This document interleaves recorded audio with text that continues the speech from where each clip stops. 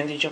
¿Tienen algún contacto para que este, este estudio sea pues bien hecho, bien realizado? ¿Quién lo va a estar haciendo? Bueno, desconozco, desconozco esa, el estudio.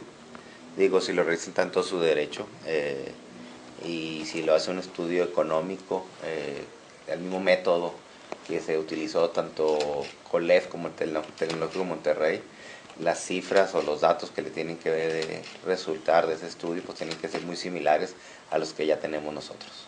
El presidente del Congreso en Chihuahua eh, mandó, un, exhorto en la sesión última del Congreso local a, la Cámara de Senadores justamente y a la Secretaría de Hacienda para que sean tomados en cuenta esos estudios. ¿Ustedes creen que pueda llegar a feliz término este tipo de exhortos? Eh, lo veo muy, muy difícil ya que esos exhortos tienen que realizar hasta el secretario de Hacienda, Luis Videgaray. Prácticamente con su gente es la que tiene que eh, mandar ese estudio o ese exhorto en el cual se contemplen y hagan válidos los estudios que realizamos en el bloque fronterizo para que tengan un efecto. Eh, en sí este, el Senado lo veo muy complicado, más no, digo, toda la lucha, todo lo que se haga en estos momentos, todo es bueno.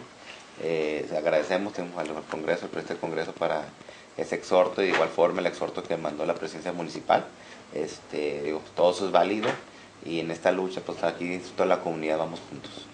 Los industriales de Nuevo León ya interpusieron amparos colectivos sobre el impuesto sobre la renta con éxito. ¿Ustedes creen que pueda llegar a pasar lo mismo en Ciudad Juárez? ¿De qué año fue eso?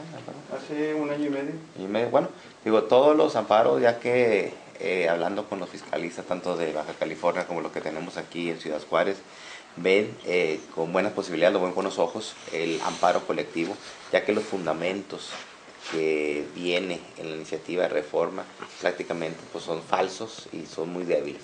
Entonces podemos refutarlo y podemos ganar ese amparo, así como lo ganó Nuevo León este, en el, el, amparo anterior. Entonces digo, lo vemos con buenos ojos, muy optimistas de que en caso de que la iniciativa no se frene en el Senado, bueno, el, el amparo eh, podemos aplicarlo y ganarlo.